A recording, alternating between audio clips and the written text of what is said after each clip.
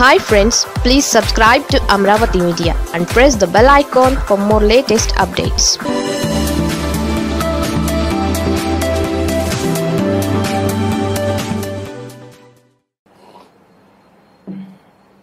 ఇంకపోతే రెండోది. భారతీయ జనతా పార్టీ జేపీ లడ్డా గారు ఆయన కూడా వచ్చాడు నిన్న. ఏదో ర్యాలీ అన్నారు. దానిలో వారి ప్రస్తుత రాజకీయ మిత్రులు పవన్ కళ్యాణ్ గారు కూడా పాల్గొంటారన్నారు. తర్వాత పాల్గొలేదు ఆయన ఎందుకు పాల్గొలేదు అంటే కరోనా వారి బృందంలో కొంతమందికి వచ్చిందట. వారికి కూడా వస్తుందనేటువంటి ఉద్దేశంతో ఆయన క్వారంటైన్కి వెళ్ళిపోయాడు. భయపడి క్వారంటైన్కి వెళ్ళిపోయాడు? లేకపోతే కరోనా నుంచి భయపడి క్వారంటైన్కి వెళ్ళిపోయాడో లేక కరెన్సీ అందలేదని బాధపడి క్వారంటైన్కి వెళ్ళిపోయాడో ప్రజలు తేల్చాలి.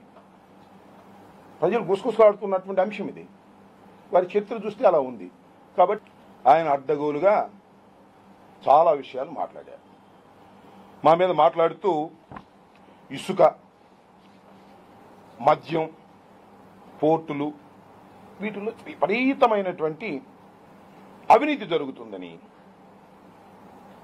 పక్షపాత ధోరణితో ఈ రాష్ట్ర ప్రభుత్వం వ్యవహరిస్తుందని అడ్డగోలుగా మాట్లాడారు. ఈ మాటలన్నీ ఈ వ్యాఖ్యలు చూసిన తర్వాత భారతీయ జనతా పార్టీ జాతీయ అధ్యక్షుడి స్థాయి నుంచి తెలుగుదేశం పార్టీ జాతీయ అధ్యక్షుడి స్థాయికి పడిపోయాడేమోని అనిపించింది. ఎందుకంటే ఆయన ఈ దేశాన్ని పరిపాలిస్తున్నటువంటి ఒక రాజకీయ పార్టీకి అధ్యక్షుడు.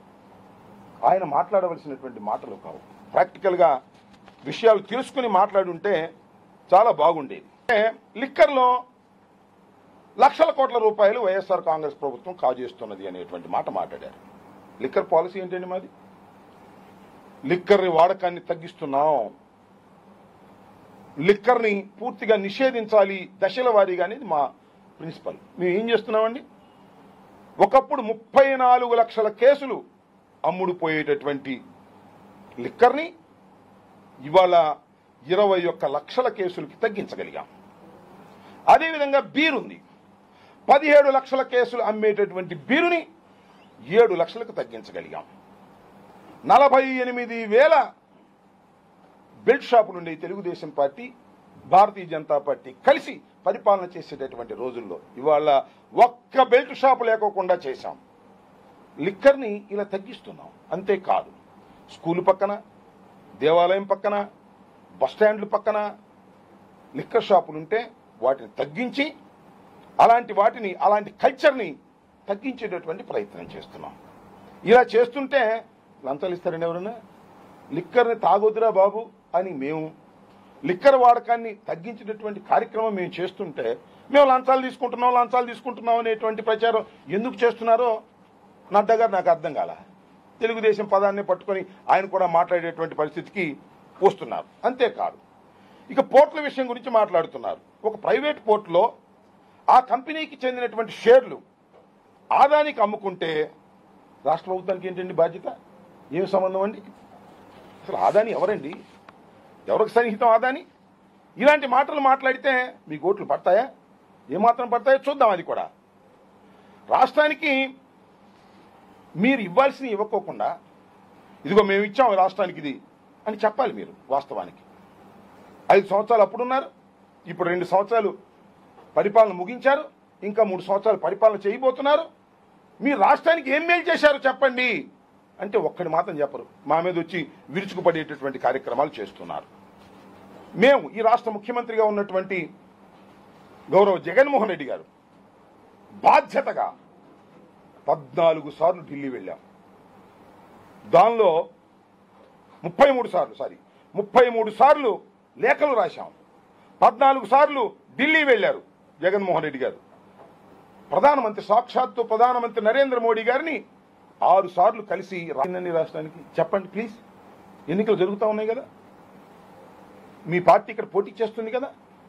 చెప్పండి. ఏం ప్రయోజనం చేశారు మీరు రాష్ట్రానికి? విడిపోయినటువంటి ఈ రాష్ట్రానికి? కష్టాల్లో ఉన్నటువంటి రాష్ట్రానికి ఆర్థిక ఇబ్బందులు ఉన్న రాష్ట్రానికి ఇచ్చిన హామీలు నిలబెట్టుకునేటటువంటి ప్రక్రియలో మీరు ఎంత ముందుకు వేశారు చెప్పండి అని అడుగుతా ఉన్నా. పోలవరం ప్రాజెక్ట్ అండి. రాష్ట్రాన్ని విభజించినప్పుడు పోలవరం ప్రాజెక్ట్ అనేది కేంద్రం పైసాతో సహా పెట్టుకొని అమలు చేయవలసినటువంటి ప్రాజెక్ట్ అది. జీవనాడి. పోతే పోయింది రాష్ట్రం. కనీసం పోలవరం అన్నా మిగులుతుంది. పోలవరాన్ని కేంద్రం కట్టిస్తుందని ఆశపడ్డాం. ఏమిటండి? కేంద్రం పోలవరం ప్రాజెక్ట్ అంచనా ఎంతండి? యాభై ఐదు వేల ఐదు వందల నలభై తొమ్మిది. కోట్ల రూపాయలుంటే ఇందులో ఆర్ అండ్ ఆర్ ప్యాకేజీ ముప్పై మూడు వేల పది కోట్ల రూపాయలు అవసరమైతే ఈ అంచనాలు ఆమోదించమని ఎన్నిసార్లు వేడుకున్నామండి మిమ్మల్ని కేంద్ర ప్రభుత్వాన్ని? ఆమోదించారా? ఎందుకు ఆమోదించలేదండి? రాష్ట్రం అంటే మీకు ప్రేమ ఉందా రాష్ట్ర ప్రజలంటే మీకు గౌరవం ఉందా? లేదే? మీరు ఇంతవరకు వాటిని ఆమోదించడానికే వెనక ముందు ఆడుతున్నారు పోలవరం జాతీయ ప్రాజెక్టు విభజన చట్టం ప్రకారం. నిర్మించవలసిన బాధ్యత మీదే. కానీ ఎందుకు నిర్మించలేకపోతున్నారు? ఎందుకు సహాయం చేయలేకపోతున్నారు? అంతేకాదు ప్రత్యేక హోదా. మీరిచ్చిన హామీ కాదు ఇది. కాంగ్రెస్ పార్టీ అధికారంలో ఉన్నప్పుడు పార్లమెంటు సాక్షిగా ప్రత్యేక హోదా హామీ ఇచ్చారు. కేబినెట్లో ఆమోదం తెలిపారు. వచ్చిన కొత్త ప్రధానమంత్రిగా సంతకం పెడితే అయిపోతుంది. సంతకం దగ్గర బిగబట్టు కూర్చున్నారు. ఇవ్వమని అడిగాం. చంద్రబాబు నాయుడు గారు అవసరం లేదన్నాడు. ప్యాకేజ్ అన్నాడు. ప్యాకేజ్ తీసుకున్నాడు. అద్భుతంగా పనిచేస్తున్న ప్యాకేజ్ అని చెప్పాడు. మేము చెప్పాం కాదు ప్యాకేజ్ కాదు. ఈ రాష్ట్రానికి ప్రత్యేక హోదా కావాలి అని చెప్పాం. దానికోసం ప్రయత్నం చేస్తున్నాం మిమ్మల్ని అనేక సార్లు అడిగాం. మాట్లాడరే? దాని గురించి మాత్రం తిరుపతి సభలో నడ్డా గారు మాట్లాడరు. ఆ పార్టీ అధ్యక్షులు మాట్లాడరు. ఆ పార్టీని ప్రస్తుతం సపోర్ట్ చేస్తున్నటువంటి పవన్ కళ్యాణ్ గారు మాత్రం మాట్లాడరు. ఇవన్నీ మాట్లాడతారు. ఇక రెవెన్యూ లోటుకు వద్దాం. ఇవన్నీ చెప్పవలసినటువంటి బాధ్యత తిరుపతి ప్రజల ముందు మాకున్నది. భారతీయ జనతా పార్టీ దీనికి సమాధానం చెప్పవలసినటువంటి బాధ్యత కూడా ఉన్నది. రెవెన్యూ లోటు విభజన చట్టం ప్రకారం మాకు తీరుస్తామన్నారే? మరి కాగ్ అంచనా ప్రకారం ఇరవై రెండు వేల తొమ్మిది వందల నలభై ఎనిమిది పాయింట్ డెబ్బై ఆరు కోట్ల రూపాయలు రెవెన్యూ లోటు ఉందని కాకు తేల్చిందే? తేలిస్తే ఎంత ఇచ్చారండి?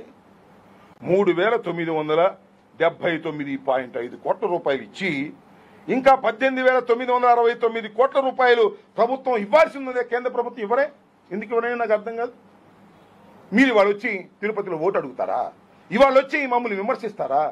రాష్ట్ర ప్రయోజనాలను పక్కన పెట్టి రాష్ట్రానికి ఇవ్వవలసినటువంటి సహాయం చేయకోకుండా మీరు ఇవాళ విభజన చట్టంలోని అమలు చేయకోకుండా ఇవాళ నాటకం ఆడుతున్నటువంటి సందర్భాన్ని చూస్తున్నప్పుడు మాకు బాధిస్తుందని అడుగుతా ఉన్నా. అంతేకాదు మౌలిక ప్రాజెక్టులు. విభజన చట్టం ప్రకారం మౌలిక ప్రాజెక్టులు రాష్ట్ర పునర్విభజన చట్టం ప్రకారం మౌలిక ప్రాజెక్టులు కొన్ని కాదు. ఇంకా ఇంకా చూస్తే వెనుకబడి జిల్లాలు ఉన్నాయి ఏడు జిల్లాలు. వాటికి రెండు వేల నాలుగు వందల యాభై కోట్ల రూపాయలు ఇవ్వాల్సింది అన్యాయం అని అడుగుతా ఉన్నా. అంతేకాదు దిశ చట్టం దిశ చట్టాన్ని మేము చేసి దీన్ని పంపించి పంతొమ్మిది రెండు వేల పంతొమ్మిదిలో ఆమోదం తెలపాల్సిందిగా విజ్ఞప్తి చేస్తే ఇంతవరకే ఆమోదం తెలపలే పక్కన పెట్టి కూర్చున్నారు. ఏమిటి మీరు రాష్ట్రానికి చేస్తున్నది? కేంద్రంలో ఉన్నటువంటి భారతీయ జనతా పార్టీ భారతీయ జనతా పార్టీ ప్రభుత్వం ఈ రాష్ట్రానికి అన్యాయం చేస్తున్నది. మీరు ఎలా ఓటు అడుగుతారు తిరుపతిలో? దీనికి సమాధానం చెప్పాల్సిన అవసరం ఉంది. వచ్చి మా మీద ఏదో ఇసుకని అదేని ఇదని ఇసుక కూడా నేను చెప్తా. ఇసుక వ్యవహారంలో మేము తెలుగుదేశం పార్టీ అదేవిధంగా భారతీయ జనతా పార్టీ అధికారంలో ఉన్నప్పుడు ఇసుక మీరే అమ్మారు కదండి? వేలం పాటల ద్వారా ఇసుక అమ్మారు. ఇసుక అమ్మితే వేలం పాటల ద్వారా ఇసుక అమ్మి కొల్లగొట్టుకున్నారు దానిలో. కానీ ఇవాళ ఈ రాష్ట్ర ప్రభుత్వం బిడ్డింగ్ ద్వారా ఒక కేంద్ర ప్రభుత్వ సంస్థ ద్వారా మేము ఇవాళ చేస్తున్నాం తప్ప మేమేమి మరో రకంగా చేయటం లేదనేది కూడా ఇక్కడ నేను చాలా స్పష్టంగా చెప్పదలుచుకున్నాను.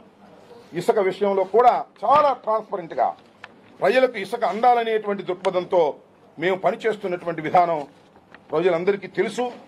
దాని ప్రకారం మేము నడుచుకున్నాం తప్ప మరొకటి కాదనేది కూడా ఈ సందర్భంగా నేను చెప్పదలుచుకున్నాను.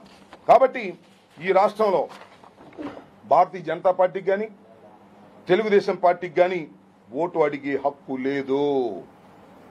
వైఎస్ఆర్ కాంగ్రెస్ పార్టీకి మాత్రమే ఓటు హక్కు అడిగే ఓటును అడిగే హక్కు ఉన్నది కారణం పరిస్థితిలో లేదు. అది భారతీయ జనతా పార్టీ తెలుగుదేశం కలిసి పనిచేసినప్పుడు పవన్ కళ్యాణ్ గారు వారిని సపోర్ట్ చేసినప్పుడు ఈ రాష్ట్రాన్ని ఇసుకలో దోచుకున్నారు మద్యంలో దోచుకున్నారు బిల్షావులు పెట్టి దోచుకున్నారు అనేక రకాలుగా దోచుకున్నారు. కానీ ఒక చిత్తశుద్ధితో పరిపాలన చేస్తున్నటువంటి ప్రభుత్వాన్ని ప్రజలు ఆశీర్వదిస్తారు. అటు భారతీయ జనతా పార్టీ ఎన్ని అబద్దాలు చెప్పినా చంద్రబాబు నాయుడు గారు ఎన్ని డ్రామాలు ఆడినా ఈ నియోజకవర్గంలో ఈ రాష్ట్రంలో వైఎస్ఆర్ కాంగ్రెస్ పార్టీని ప్రజలు ఆదరిస్తారనేటువంటి పూర్తి విశ్వాసంతో ఉన్నామని ఈ సందర్భంగా మీ ద్వారా ప్రతిపక్షాలకి ప్రజలకు కూడా తెలియపరుస్తున్నాం.